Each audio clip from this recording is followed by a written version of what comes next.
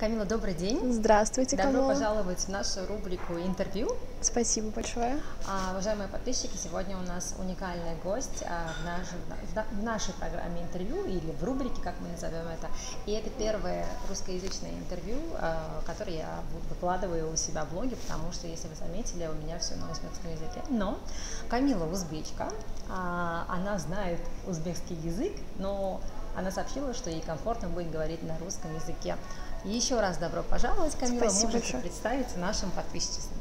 Всем здравствуйте, меня зовут Камила.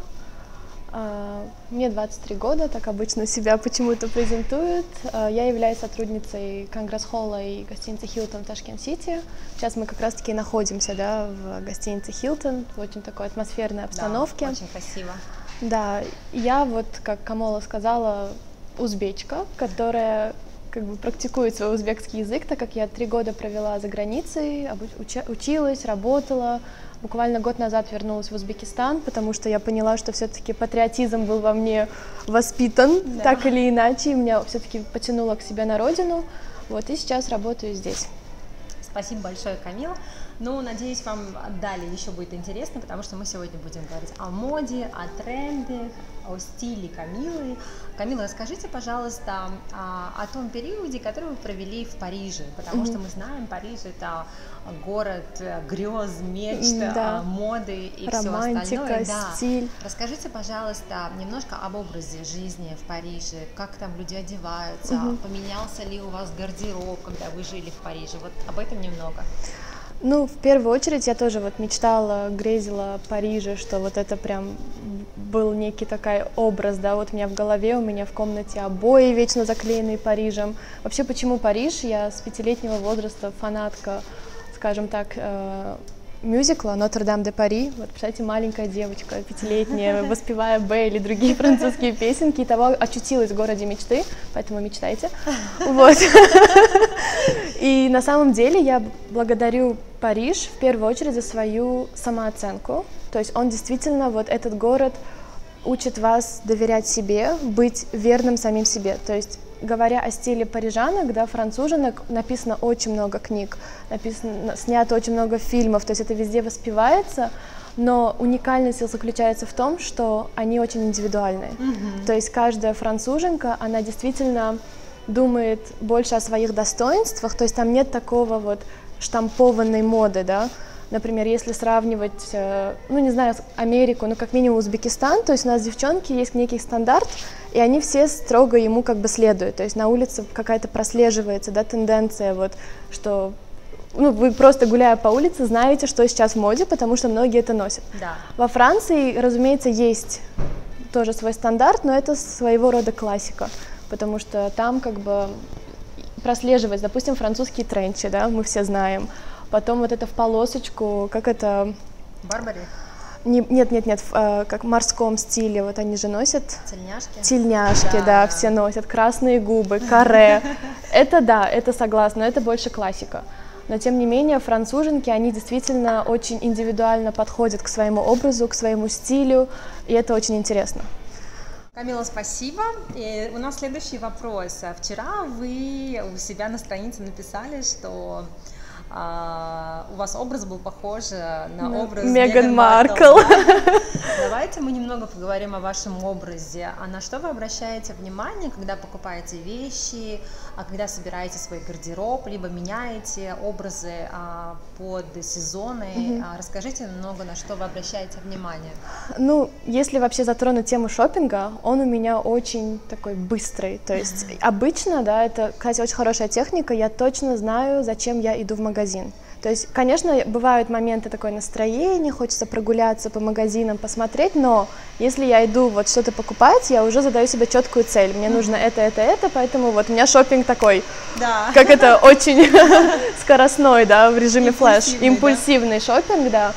Вот, э, у меня есть некие музы, которыми я восхищаюсь, в том числе Меган Маркл, она вообще как личность меня очень сильно притягивает своей силой, своей энергетикой, ну и, разумеется, стилем, то, что она смогла поменять, вот она была американской актрисой, сейчас как бы у нее более протокольная одежда, так как она принцесса, да, скажем так, герцогиня, вот, и честно, на самом деле, этот образ, да, он получился, я просто так, так, у меня есть вот это, у меня есть вот это. Она одевалась так же, почему бы не сделать? И получается просто как копи-пейст.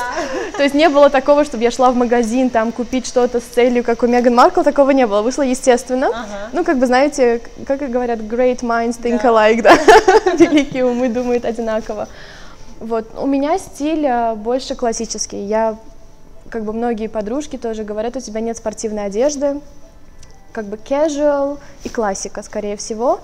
Вот. И самое главное, возвращаясь к теме о француженках, то есть надо знать себя и принимать себя такой. Например, вот меня Бог, допустим, наградил стройными длинными ногами, да.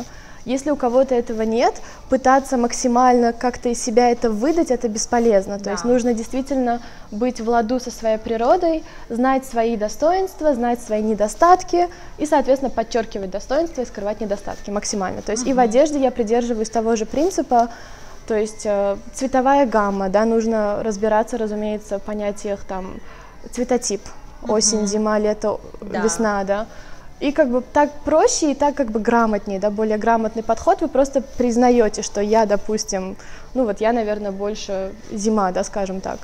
Вот, то есть и что зиме нужно носить, например. Да, да, да. Или, допустим, у меня вот э, в пропорциях, допустим, там, ну опять-таки длинные ноги, да, как можно сделать так, чтобы они визуально были длиннее.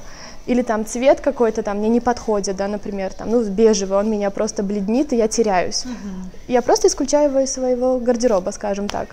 Вот, поэтому действительно нужно изучать себя, пробовать, разумеется, пробовать нужно. У меня вот со стрижкой были вечные какие-то перемены. Я под, когда, э, знаете, был в тренде фильм о сумерках подростковой, да. я под Элис Каллин, вот этот пикси, короткая стрижка ежиком, дважды стриглась, то есть подростковый период был интересный. Потом были вот эти готы эмо, я ходила с террористической банданой на шее, да, почему бы нет.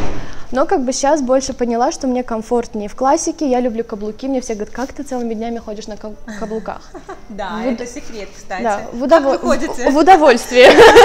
Я себя не заставляю, я просто люблю, я чувствую себя уверенней, когда в первую очередь на каблуках вы ходите медленнее.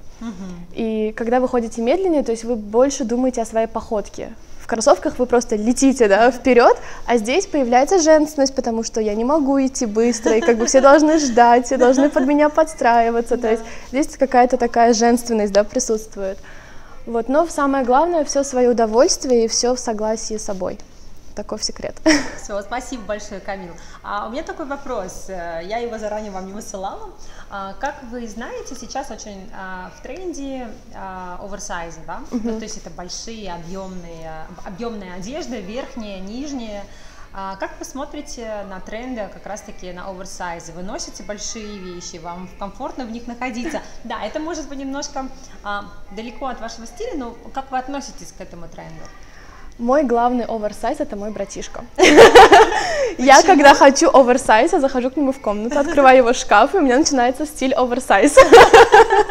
Вот, я его люблю, он очень комфортный, я согласна. Опять-таки, ну вот буквально недавно подругу критиковала, говорю, вот допустим, нужно как-то подчеркивать фигуру. Я отношусь к оверсайзу в умеренном стиле. Например, я могу надеть зауженные брюки, да, прита... ну, не приталенные, а как вот наоборот, что скинни джинсы, да, например, да. с оверсайз жакетом. Ага. То есть тогда для меня это гармония. А если я надеваю и штаны оверсайз, и это, то это, как знаете, Мерлин Монро, фотосъемки в картофельном э, этом, как это, мешке, да, когда ей сказали, что у тебя такие красивые платья, ты поэтому Мерлин Монро. Он говорит, я и в картофельном мешке буду Мерлин Монро, вот если я оденусь полностью оверсайз, то вот что-то в этом роде. Поэтому сто процентов оверсайз я не люблю, все-таки мне нравится подчеркивать как бы, ну, свои формы, скажем так. Понятно. У нас следующий вопрос. Камил, вы работаете, ну, как бы сказать, в таком офисном режиме, да? Ну, да. у вас э, очень много мероприятий, вы проводите какие-то э, встречи, организовываете их самих.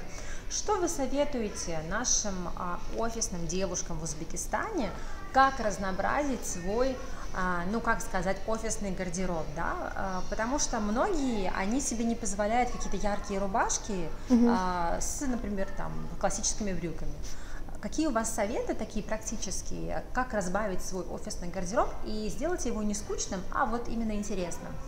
Ну, в первую очередь, именно мой рабочий стиль, как бы он достаточно строгий, потому что мы должны соблюдать протокольные правила. Даже примера яркой рубашке я себе его позволить не могу, uh-huh. в принципе. Uh-huh. То есть у нас все очень строго. А, я нашла выходы. Я шла к этому где-то полгода, да, но тем не менее нашла выходы. В первую очередь я играю с цветами. Uh-huh. То есть изначально у нас главный цвет это черный, uh-huh. разрешается, допустим, там серый. Вот. И в принципе я там засмотрелась на темно-зеленый, на бордовый, на темно-синий, серый, различные, да, 50 оттенков серого, скажем так. То есть можно играть вот именно с цветами, можно играть с фактурами. То есть я могу надеть шелковую рубашку, я могу надеть льняную рубашку, или там хлопковую, да, или там футболку, американку, да, вот. То есть можно играть с, текстур, с текстурой. А, и самое главное, вообще меня вот кто знают, они всегда говорят, у тебя всегда что-то есть на шее. То есть, возможно, сегодня я не одела, но я всегда ношу шарфики. Это вот что-то я переняла из Франции, хотя я их любила до этого. То есть найти какую-то свою вот эту отличительную черту, то есть даже сколько раз было, говорит, вот это у вас девушка с шарфиком же есть, как шапоголик, знаете, девушка в зеленом шарфе, вот то же самое. Допустим, украшения. У меня неоднократно меня, как бы, ну, даже не благодарили, потому что когда приходят иностранные гости, я люблю национальный принт. У меня есть, допустим, бижутерия в национальном принте, на вот последнее мероприятие одела чапан в национальном как бы стиле, то есть mm-hmm. это подчеркивает. Я как раз-таки сказала, что я патриот, и лишний раз подчеркнуть наш потрясающий узбекский вообще дизайн, наши орнаменты, это с удовольствием. Поэтому можно как бы небольшие, неброские украшения, понимаете, стильно не значит броско, стильно не значит много. Может быть чуть-чуть, как бы незаметненько, но оно есть. И этого, этого не убрать, понимаете? Вот, поэтому какие-то такие лайфхаки, да, вот я добавляю украшения, я добавляю шарфики, я играю с текстурой, я играю с цветом, вот, и вроде, в принципе, удается, меня не ругают, а я каждый день выгляжу по-новому, скажем так. А вопрос касательно бюджета на шопинг. Угу. А как вы думаете а, и как вы относитесь на то, что чтобы иметь хороший стильный гардероб, нужно ли тратить много денег на него? Абсолютно нет. Ну, у меня, допустим, шопинг, э, как я сказала, я задаюсь целью.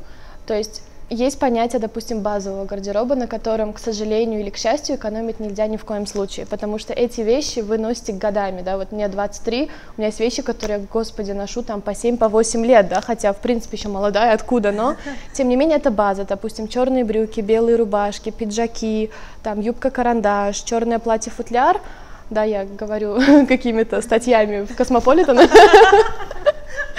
Вот, тем не менее, это база. Ваши пожелания нашим подписчицам, которые всегда находятся а, в поиске а, новых трендов, а, либо обновления своего гардероба, либо какого-либо соответствия к, этим новинкам. Ваши пожелания нашим подписчикам, подписчицам, подписчикам, да, в целом, как, как завершающее слово. Спасибо всем большое за внимание. Берегите себя, будьте стильными, будьте в ладу собой. Вот. Э, всегда задавайтесь вопросом, как вы себя чувствуете, хорошо ли вам, как вы выглядите так, как вы хотите выглядеть, и все у вас будет прекрасно. Спасибо вам большое. Подписывайтесь на Камолу, просто удивительный человечек. Вот. До новых встреч.